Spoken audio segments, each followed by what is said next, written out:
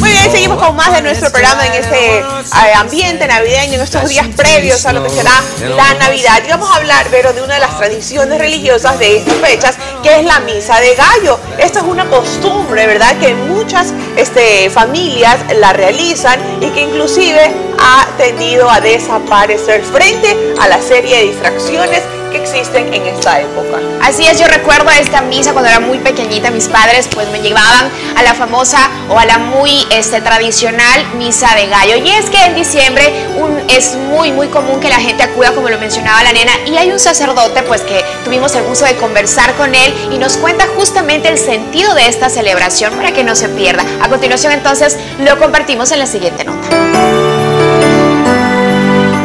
La Misa del Gallo es una tradición de los católicos en Navidad.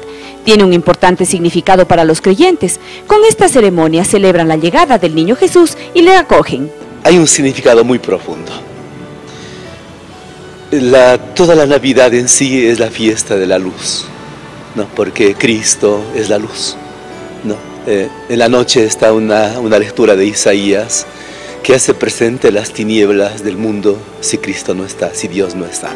Tradición que a decir de los sacerdotes se va perdiendo, pues vivimos en un mundo que está distraído. Y se hace la medianoche justamente porque la noche simboliza toda esta realidad de tinieblas del hombre sin la luz de la presencia de Dios.